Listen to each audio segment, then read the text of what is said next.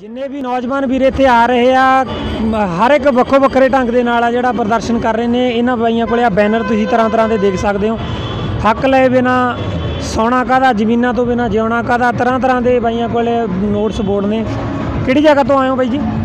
ਬਾਈ ਜੀ ਅਸੀਂ ਮੁਕਤਸਰ ਜ਼ਿਲ੍ਹੇ ਦੇ ਮਲੋਟ ਕੋਲ ਪਿੰਡ ਆ ਸਾਡਾ ਦਿਉਨ ਖੇੜਾ ਜੀ। ਬਾਈ ਹੋਰਾਂ ਦਾ ਪਿੰਡ ਸੈਨਾ ਖੇੜਾ ਬਾਈ ਹੋਰੀ ਇਧਰੋਂ ਧਰਾਂ ਵਾਲੇ ਤੋਂ ਹੋਰ ਕੋਲ ਆਏ ਨੇ। ਠੀਕ ਹੈ। ਕੀ ਕਹਿਣਾ ਚਾਹੁੰਦੇ ਹੋ ਤੁਸੀਂ ਇੱਥੇ ਇਸ ਸੰਘਰਸ਼ ਦੇ ਵਿੱਚ ਸ਼ਾਮਲ ਹੋਏ ਹੋ? ਕੀ ਮਹਿਸੂਸ ਕਰਦੇ ਹੋ? ਬਾਈ ਜੀ ਇੱਕ ਤਰੀਕੇ ਦੀ ਤਾਂ ਫਕਰ ਵਾਲੀ ਗੱਲ ਆ।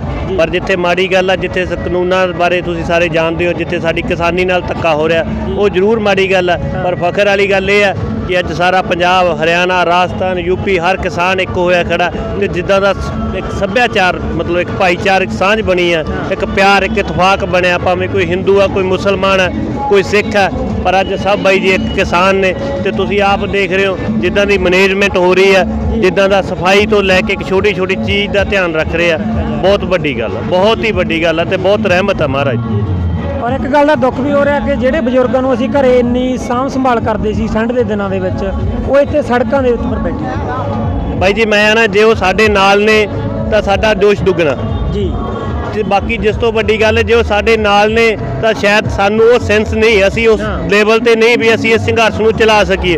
ਉਹ ਸਾਨੂੰ ਦੱਸਦੇ ਨੇ ਵੀ ਆ ਨਹੀਂ ਆ।